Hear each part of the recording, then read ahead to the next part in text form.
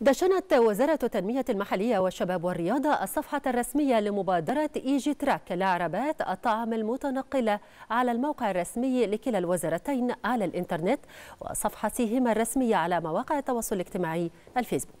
هذا وقد تم توقيع مذكرة تفاهم بين وزارة التنمية المحلية ووزارة الشباب والرياضة بحضور رئيس مجلس الوزراء الدكتور مصطفى مدبولي لإطلاق وتنفيذ مبادرة إيجي تراك والمعنية بتيسير كافة الإجراءات وتقديم حزمة من الخدمات لدعم ومساعدة الراغبين في إقامة هذا المشروع في كافة النواحي الفنية والإجرائية والتمويلية.